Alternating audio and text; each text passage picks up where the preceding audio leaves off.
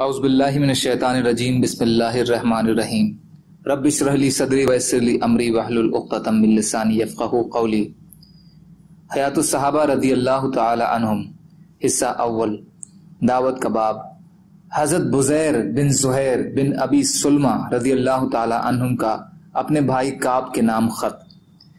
حضرت عبد الرحمن بن کعب فرماتے ہیں کہ حضرت کعب بن زہیر رضی اللہ تعالی عنہ اور حضرت بزیر بن زہیر رضی اللہ تعالی عنہ دونوں سفر میں روانہ ہوئے۔ ابرق العزاف چشمے پر پہنچ کر حضرت بزیر نے حضرت کعب سے کہا، تم اسی جگہ ان جانوروں کے ساتھ رہو، میں ذرا اس آدمی یعنی حضور صلی اللہ علیہ وسلم کے پاس جا کر سنتا ہوں کہ یہ کیا کہتے ہیں۔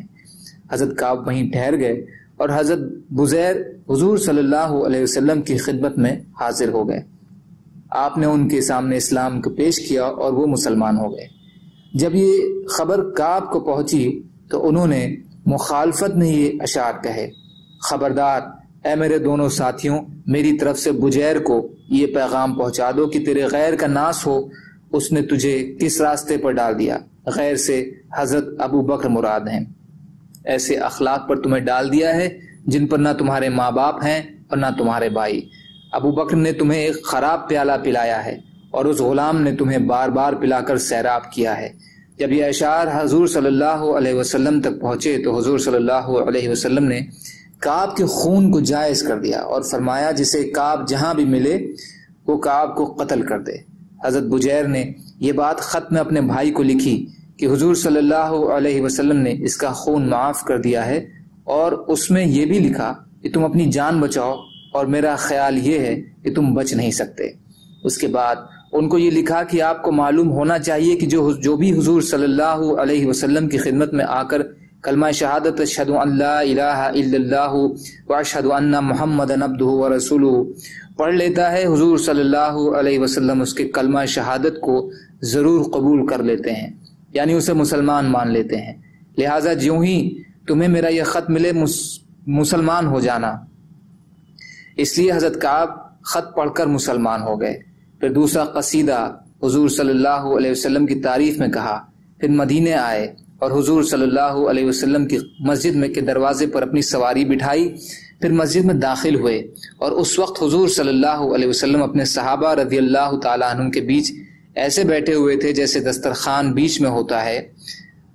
صحابہ رضی اللہ تعالیٰ عنہم۔ حضور صلی اللہ علیہ وسلم کے ارد گرد حلقے پر حلقہ بنائے بیٹھے ہوئے تھے۔ کبھی آپ صلی اللہ علیہ وسلم ایک طرف متوجہ ہو کر بات کر فرماتے، کبھی دوسری طرف متوجہ ہو کر بات فرماتے۔ کعب فرماتے ہیں، میں نے مسجد کے دروازے پر اپنی سواری بیٹھائی اور میں نے حلیہ مبارک سے ہی حضور صلی اللہ علیہ وسلم کو پہچان لیا۔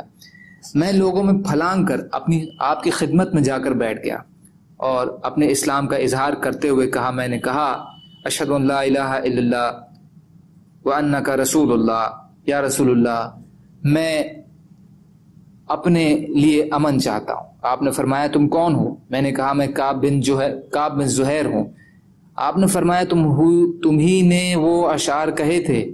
پھر حضرت ابو بکر رضی اللہ تعالیٰ عنہ کی طرف متوجہ ہو کر فرمایا، اے ابو بکر، اس نے کیسے کہا تھا؟ تو حضرت ابو بکر نے یہ شعر پڑھا کہ ابو بکر نے تمہیں خیاب پیالہ پلایا ہے۔ اور اس غلام نے تمہیں بار بار پلا کر سیراب کیا ہے۔ میں نے کہا، اے اللہ کے نبی صلی اللہ علیہ وسلم، یہ شعر ایسے میں نے نہیں کہا تھا۔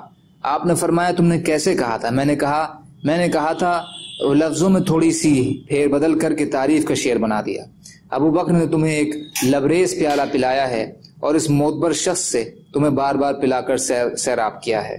حضور صلی اللہ علیہ وسلم نے فرمایا، اللہ کی قسم، ابو بکر واقعی معتبر آدمی ہے۔ پھر کعب نے اپنا قصیدہ آخر تک سنایا اور آگے ایک پورا قصیدہ ہے۔ حدیث حاکم، حصہ تین، پیج نمبر پانچ سو اناسی پر۔ حضرت موسا بن اقبا کہتے ہیں کہ حضرت کعب بن جوہیر نے مدینے میں مسجد نبوی کے اندر حضور صلی اللہ علیہ وسلم کو اپنا قصیدہ بانت سعاد پڑھ کر سنایا۔ جب وہ اپنے اس شعر پر پہنچے کہ بے شک رسول اللہ صلی اللہ علیہ وسلم ایک ایسی تلوار ہیں جس سے ہدایت کی روشنی حاصل کی جاتی ہے۔